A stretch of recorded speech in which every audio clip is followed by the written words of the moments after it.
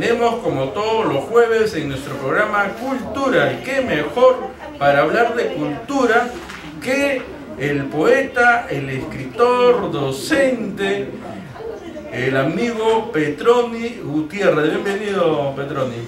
Gracias por la amable invitación, estimado Dante, y un saludo cordial a los amables televidentes. Petroni, sé que mañana tienes un importante evento. Cuéntanos, ¿de qué se trata? Se trata, amables televidentes, estimado Dante, de la presentación de dos libros en el auditorio principal de la Biblioteca Central de la Universidad Tecnológica del Cono Sur, a partir de las 15 horas. La UNTEX, la Universidad Tecnológica de Lima Sur, a las 3 de la tarde. Yo tengo acá el, la primera publicación, Colores del Viento. Es un poemario. Cuéntanos un poquito sobre este libro. Es un libro estructurado dialécticamente con 100 poemas, 33 poemas de color amarillo, eh, 33 poemas de color azul, 33 colores, eh, poemas de color rojo y luego todos los colores blancos. Son 100 poemas que mañana pondré a la consideración del público y auditorio de Villa El Salvador porque considero, salvo la poesía, no existe una justificación válida para la vida del hombre.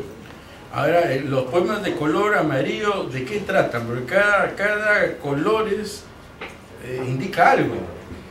Eh, mañana eh, seguro va a solear y el sol ilumina y irradia mejor en el arenal de Villa El Salvador o tal vez en la gleba, en los maizales, los trigales cuando maduran. Entonces el color amarillo significa la maduración de los sueños del hombre, de la esperanza del pueblo. Y por eso es que he considerado los tres colores primarios, en este caso el amarillo, pondré ese tipo de poemas donde habla del nacimiento, de la semilla, hasta la cosecha. Y el color azul, hay mucha gente que le gusta, su color favorito yo conozco el azul. Por supuesto, hay teorías de que la vida nace del mar y todo es eh, realmente eh, agua y posiblemente el agua vaya a ser un componente eh, aproximado a la extensión de agua que existe en la Tierra en el cuerpo humano, o sea, el macrocosmos con el microcosmos en concordancia.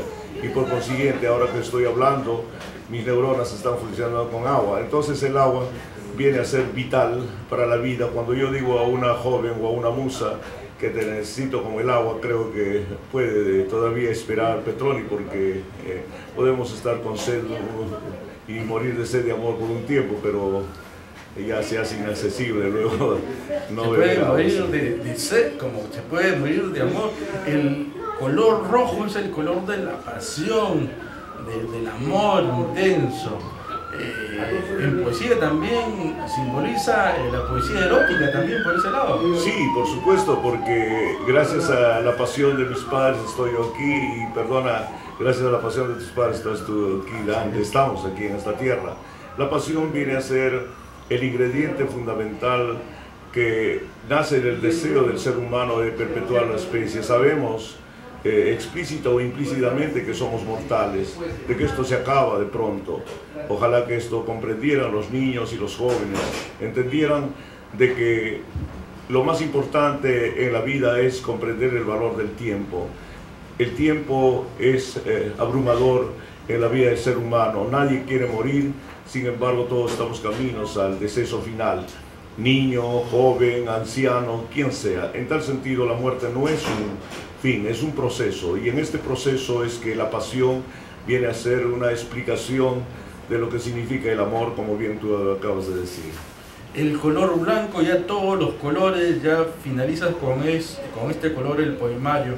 ¿Qué simboliza el blanco? ¿La paz, la tranquilidad? No, al contrario, simboliza lo más impuro, lo más, eh, eh, diríamos, eh, imperdurable y como resultado, como la nube, ¿no? La nube que se difumina rápido en el espacio a través del viento.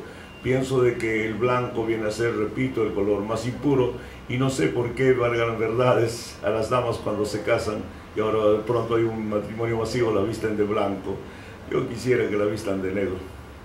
Estos poemarios han sido comenzados a escribir desde el año 1971 hasta el 1990.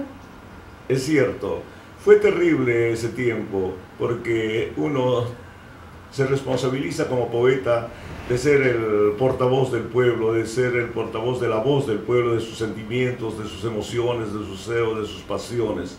Y por consiguiente el poeta, en este caso yo, me responsabilizo de cada palabra que esté escrito y eso palabra por palabra lo he escrito y lo he estructurado en 100 poemas que espero mañana llegue a la consideración de la reivindicación de los poetas también, de los hermanos poetas del Cono Sur, hacia el Perú y hacia el orbe.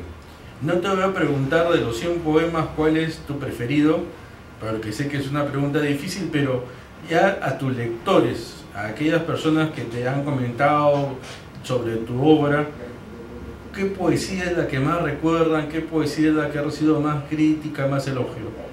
Eh, de hecho, el poema que aplaudió el maestro eh, Francisco Izquierdo Ríos en la NEA en 1976 y por ende Juan Benavente, el actual eh, heredero de estos viernes literarios, es Mesías sin fe.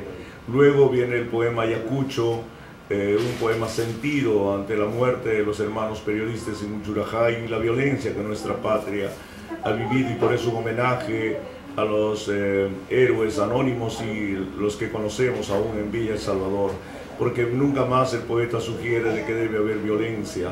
Debemos entender los seres humanos hablando, conversando, dialogando, negociando. Y al enemigo pienso que se le derrota con un canto, con un poema y una flor. ¿Quiénes van a estar de comentarista de este importante poemario? Ah, eh, mañana va a estar comentando el doctor eh, Fidel Luján, eh, profesor de la Universidad Tecnológica del Cono Sur, y el joven talento, genial poeta sanmartinense, eh, radicado en Lima, Antonio Morales Jara. Eh, digo esto porque este joven tiene 31 años y ha escrito ya 13 libros, es uno de los raros talentos que produce la literatura peruana y por consiguiente me va a honrar mañana a posteridad lo que pueda decir me importa porque los jóvenes están representados por él. ¿Quiénes pueden asistir? ¿Solamente el alumnado y el ingreso es libre? No, el alumnado no, el ingreso es libre y tenemos la presencia, por ejemplo, de Rafael Cumpen en la mesa de honor. Eh, están invitados todos. Al contrario, en la universidad hay que entender de que es un lugar de congregación del pueblo y así lo han entendido los directivos de esta universidad y le agradezco desde ya a los que tienen injerencia en esta responsabilidad. Va a estar Walter Witt, el conferencista internacional, eh, conduciendo el programa. Esto va a ser una fiesta de la palabra, del amor, de la alegría. Bueno, también vas a presentar eh, otro libro, con, con ese libro vamos a tratar en el siguiente bloque. Quiero si nos puedes regalar algún poema de, de colores del viento.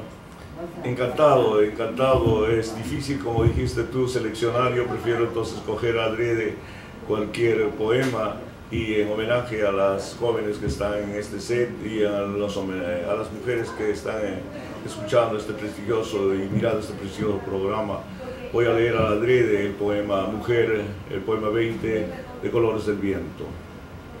Mujer, ¿y quién me hará dormir cuando la noche me aplaste como una piedra negra, matando mi sueño de libertad? Mujer, ¿A dónde te has ido dejándome hablando solo a mi soledad que no me deja ni siquiera respirar?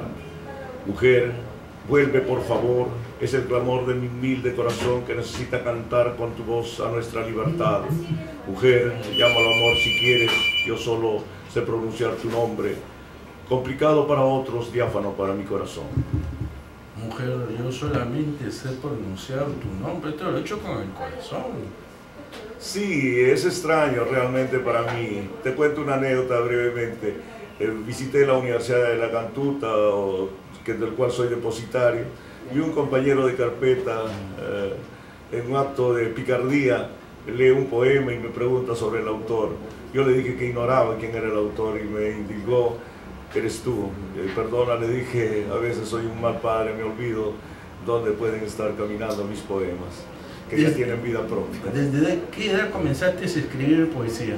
Eh, virtualmente ante el fracaso sentimental de mi primer amor cuando tenía aproximadamente 12, 13 años, porque era un precoz amador de muchachas. ¿no? Sí. O sea que eh, ya a esa edad, desde muy, ya en la adolescencia, escribías poemas, te inspiró la, la, nostalgia. Eh. Sí, creo que es mejor que suceda esto, porque visitó mi pueblo eh, difundiendo los populibros eh, Manuel Escorza, de, perdón, sí, de Manuel Escorza, visitó un declamador maravilloso, lo Hudson Valdivia, eh, y habló de los versos de, en este caso, de nuestro querido poeta eh, Juan Gonzalo Rose, que, que me viene a memoria y lo he incluido en este libro. Yo me ahogo de cielo, mi corazón se inclina y las islas no llegan. Mírame con tus ojos entonces, quiero morir mirando el extremo más dulce de la tierra. Es, esos versos me pudrieron el cerebro para siempre. Y aquí eh, como poeta, y yo nunca quise, quise ser poeta después y nunca lo quisiera, eh, que ni a mi peor enemigo que sea poeta, porque poeta ser es un destino en el Perú. se dice que eh, la poesía vive del poeta, pero el poeta no puede vivir de la poesía. Al contrario, yo he podido estudiar en San Marcos y en La Cantuta, en dos universidades a la vez, eh, porque he aprendido a declamar de muy joven y a sobrevivir declamando los poemas. Yo soy capaz de salir ahora en medio de los policías y ponerme a declamar, recitarle poesía y pedirle luego la, la consabida, pasar la bolsita y que colaboren conmigo, porque los poetas también comemos.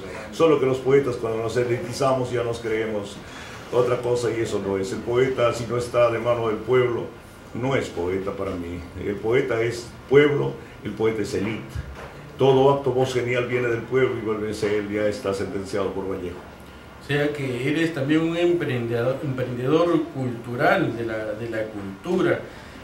Este poemario todavía estamos en su primera edición ya ha habido otras ediciones. Es la segunda edición, la primera fue publicada gracias a Osvaldo Iguchi, el, pintor Nikkei que tenía una editorial en Utrecht, pero fue coartado y simplemente 45 poemas. Ahora están los 100 poemas. Ojalá que haya resistido a la inclemencia del tiempo y ustedes serán los que vayan a decir lo que tienen que decir respecto a este libro. Tú eres del distrito de Villa de Salvador, ¿desde cuántos años estás viviendo allá en Villa de Salvador? Yo en Villa de Salvador estoy viviendo aproximadamente 30 años he formado familia y vivo acá entre Vallejo y la separadora agrícola. Pienso de que he llegado a un lugar donde he podido eh, resumirlo en unos versos. Nos hicieron venir rodando como, piedra, como piedras arrastradas por turbulento río a sembrar nuestra verde hierbabuena en los desiertos. Entonces, yo considero de que Villa El Salvador se asemeja a mi pueblo natal que se llama Coya. Yo soy oriundo de Coya, provincia de Jauja, mi padre de Orcotuna, de donde yo pertenezco. Por eso firmo mis libros como Juan Casausa y posiblemente me hayan engendrado en Jauja. Qué bonito, con mucha identidad, cosa que no se debe de perder. ¿La Municipalidad de Villa El Salvador alguna vez te ha rendido un justo homenaje? Eh, he tenido el honor de conocer a Michelle Ascueta, un símbolo del inicio de Villa El Salvador. Siempre como provinciano he querido conocer quién este era este líder. Y luego en 1986 en la presencia del Papa pude haber eh, inspirado el segundo libro que vas a presentar. Y luego he podido conocer a Ascueta y su benevolencia para que me permitió liderar el homenaje a Vallejo en el nacimiento y esto lo he venido eh, eh, liderando en forma consecuente, tanto que hay una musa que cerró la cortina y ahora el próximo año se va a abrir. Yo quiero conocer a Jessica Pita, si la conocen por favor, mándenle saludos porque algunos poemas escritos por, eh, para ella. Bueno, fue estuvo trabajando también como servidor en la Municipalidad de Villa El Salvador. Vamos a ir a la primera pausa comercial y retornamos aquí en su programa En la Mira con Petroni porque además de este hermoso poemario Colores del Viento, él nos tiene otro gran regalo, otra gran presentación que va a ser el día de mañana en la Universidad Tecnológica de Lima Sur. Vamos a la primera pausa y retornamos.